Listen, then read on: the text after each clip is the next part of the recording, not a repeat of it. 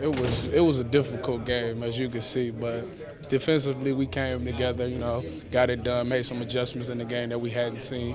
They made some adjustments that we hadn't worked on in practice, but the coaching staff put us in a great position to make plays. Why are they so good at it?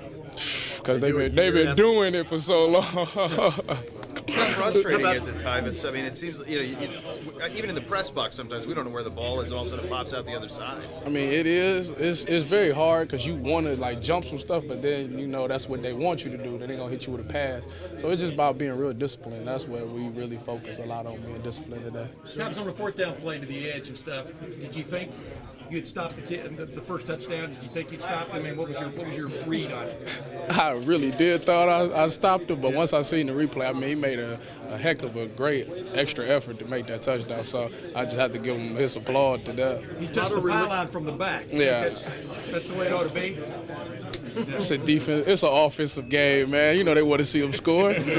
What's it like to have this game in y'all's rearview mirror now? I mean, you know, it's um, such an awkward team to Well, well, what I think it did was it definitely brought us together. It showed that like that we are a good defensive team. You know, I mean, it didn't really display our pass defense like it, like we would hope because they didn't throw the ball and give us many opportunities. But I feel like we are a strong defense this year. I'm looking forward to the future.